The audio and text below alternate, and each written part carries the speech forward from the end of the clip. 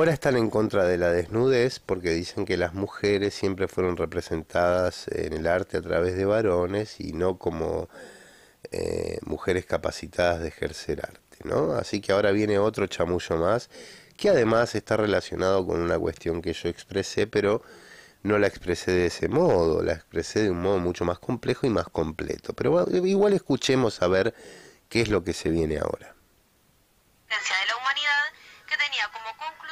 que las mujeres lesbianas, travestis y trans habíamos sido durante siglos invisibilizadas y consideradas incapaces de hacer artes.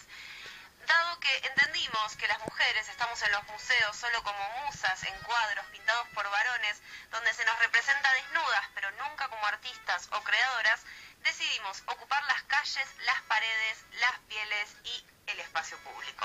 Es así entonces que la artista lesbiana Lucha de Buenos Aires fue invitada a pintar un mural para el trigésimo Encuentro Nacional de Mujeres. Bueno, vamos a la primer contradicción. Ellas consideran que eh, siempre han sido elegidas como musas para ser pintadas desnudas y dentro de esas musas incluye a lesbianas y trans. Perfecto. Yo quiero que me muestren todos los cuadros que hizo de travestis desnudos Leonardo da Vinci, ahora, ¿no? Que ya, ya quiero que me lo muestren.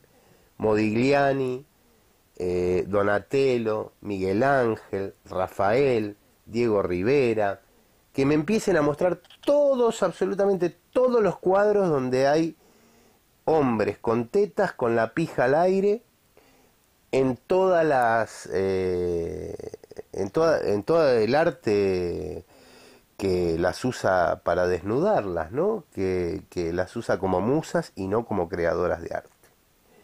Ya, ¿eh? Quiero que me lo muestren ya, quiero ver todas las obras, a ver cuántas son.